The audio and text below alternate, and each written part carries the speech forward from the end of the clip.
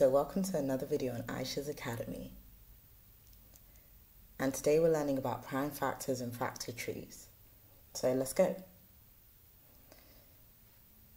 So when it comes to prime factors, reason why I've highlighted them in red, they are factors that are prime numbers.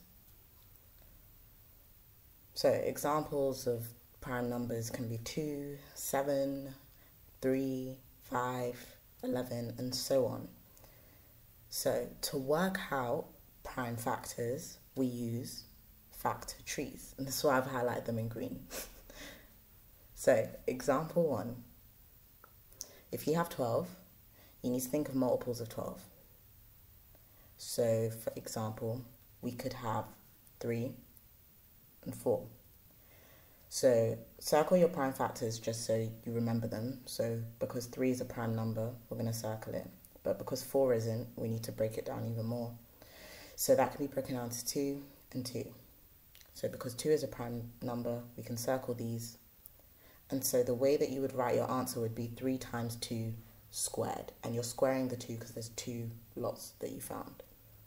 Or there's other ways that you can do it. So again, if we have 12, And so factors of that could be 2 and 6. Again, 2 is a prime number, so we're going to circle that. But 6 isn't, so we need to break it down further. So that could be broken down into 3 and 2 again. And notice how you still have the same answer. So it doesn't matter um, which route you take, as long as you get the same answer.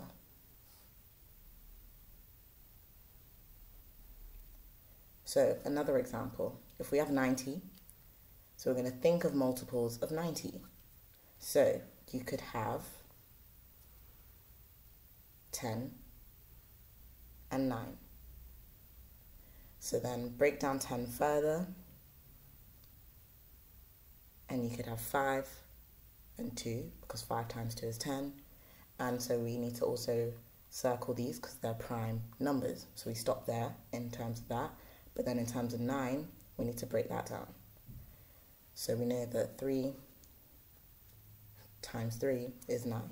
And because 3 is a prime number, we can circle that. So then your final answer would be 5 times 2 times 3 squared. So example 3, if you have 56, so multiples of 56, you could have 7 and 8. So 7 is a prime number, so we're going to circle that. Break down 8 further. So you could have 4 and 2. 2 is a prime number, so we're going to circle that. And then you can break down 4 further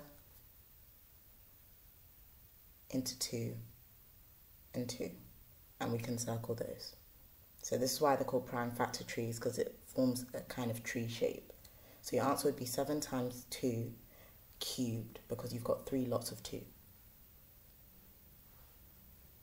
So example 4, last example. If you have 72, we can break that down into 2. So 2 is a prime number, so we can circle that, and 36. So if we also break down 36 further, you could have 6 times 6. But then again, we need to break down the 6's further into 3 and 2. And same with the other 6. So notice that the end of your prime factor trees, they need to be prime numbers. So if you circle all those prime numbers, just so you don't forget any, Your final answer would be 2 cubed because you've got three lots of 2 times 3 squared because you've got two threes. So I hope that made sense in terms of factor trees, nice and simplified video with examples. If you enjoyed this video, please, please remember to comment, like and subscribe to the channel and please comment for any recommended videos you would like. Thanks for watching.